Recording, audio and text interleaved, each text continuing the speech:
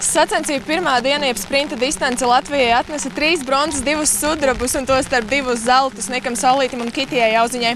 Šodien sacensību otrā diena un cīnoties ne tikai ar konkurentiem, bet arī laikapstākļiem masu starti. Vīriem 20 km distance, dāmām 15. Trase bija smaga, jo liela lietus un riteņi nebija no tiem ātrākajiem. Konkurenti bija stipri. Sajūtas, protams, ir lieliskas uzvarot šādas sacensības, jo ja vakardiena bija samērā viegla salīdzinot ar šodienu, tad šīs sacensības bija ļoti grūtas.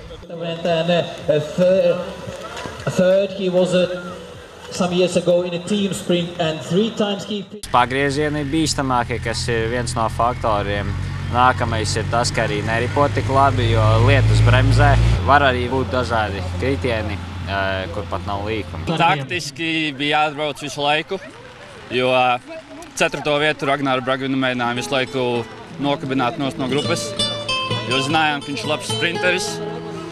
Tā kā bija daudz jātaisa atrāvienu, jau pirmajā aplī uzņēmos atrāviena vadību, un, un tas salīdzinoši izdevās, izveidojām četru cilvēku grupu. Augsti, slapji, bija jāuzmanās no, no baltajām līnijām, arī braucot finišā, domāju, lai neuzbrauc uz baldajām līnijām, jo tās slīd arī akuvāki slīdēja, tā kā bija jāuzmanās visu laiku. Es pirmo reizi startēju šajā trasē un īstenībā ļoti patika, bija patīkami pārsteigt, jo bija sākumā domājis, ka nu, kāda gan pilsētā var trases uztaisīt, vai ne, bet tā kā ļoti patīkams sajūts. Šoreiz sacensības Madonā kopā pulcēja tikai 53 dalībnieks no piecām valstīm, jo vairākām delegācijām vīrusu izplatības dēļ no dalības nācās atteikties. Būtu, protams, foršāk, ja būtu konkurenti arī varbūt no Itālijas, mūsu grupā arī no Norvēģijas, Krievijas.